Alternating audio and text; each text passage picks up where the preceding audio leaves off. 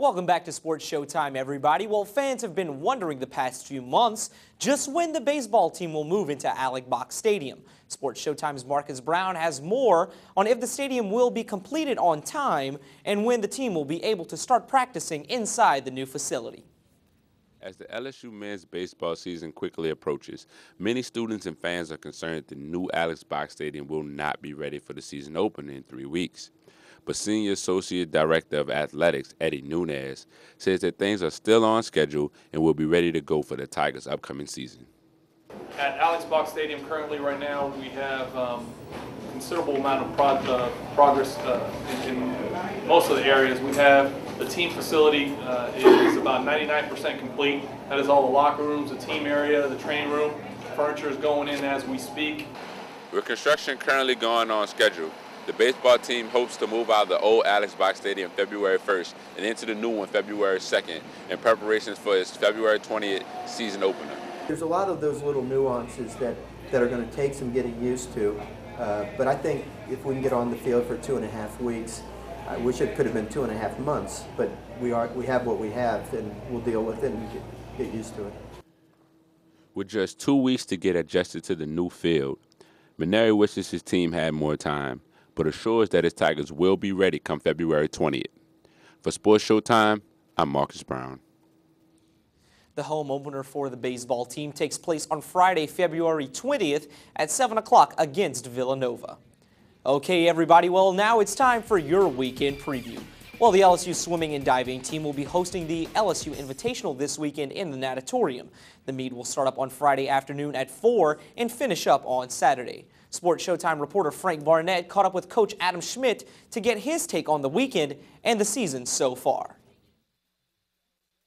With LSU hosting the Universities of Houston, Rice, and New Orleans at home this weekend for the last regular season meet, Coach Schmidt shares his thoughts on the season and the upcoming SEC tournament.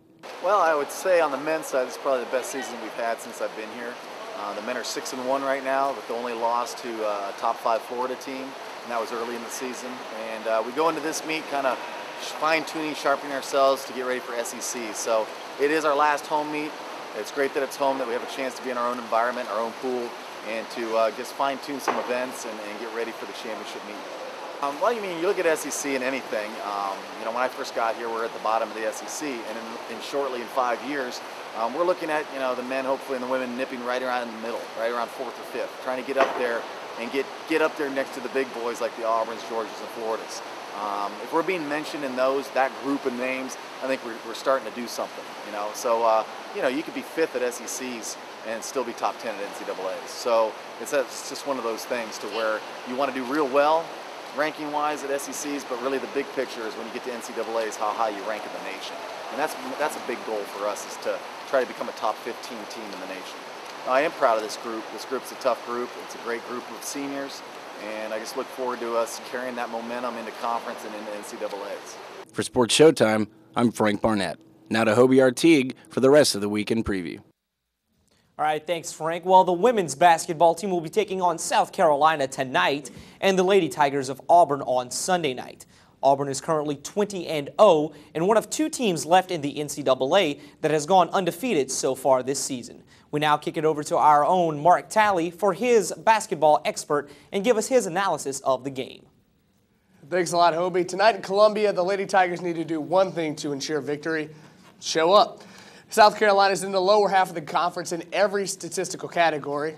At 9 and 10 overall, they have the worst record in the conference, and at 1 and 5, sit above 0 and 6 Alabama in league standings. The only interesting note for the Lady Tigers tonight is the emergence of Andrea Kelly at the point guard position. The newcomer drained five threes in her first career start at the point earlier in the week, and her additional offensive output will be a quenching relief for the off-parched LSU scoring. Looking ahead with a win tonight, LSU will set up a huge matchup this Sunday in the PMAC against undefeated and fourth-ranked Auburn. Auburn is impressive, 20 0, and the only other undefeated team in women's basketball is UConn. Back to you, Hobie.